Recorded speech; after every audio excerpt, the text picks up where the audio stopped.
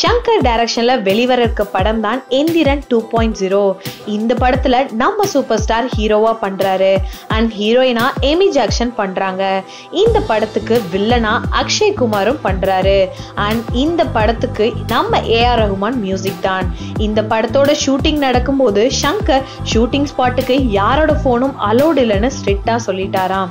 ஏன்னா இந்த மூவிஸோட எந்த ஒரு ஸ்டில்ஸோ இல்ல ஸ்டோரிஸோ லீக் ஆயிடக்கூடாதுன்னு பார்த்து பார்த்து ஷூட்டிங்கே நடந்துச்சாம்.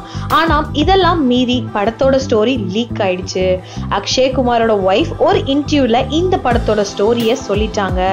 இந்த படத்துல அக்ஷய் குமார் ஒரு டாக்டராகவும் அவர் ஆராய்ச்சி செய்யும் போது தவறு நடந்து அவருக்கு பறவையோட குணங்களை கொண்டவரா மாறிடுவாருன்னு சொல்லியிருக்காங்க. அதற்கு ஏத்த மாதிரி கொஞ்ச நாள் முன்னாடி டூ பாயிண்ட் ஜீரோவோட ஷூட்டிங் ஸ்பாட்ல அக்ஷய்குமாரோட ஸ்டில்ஸ் வெளிவந்திருக்கு.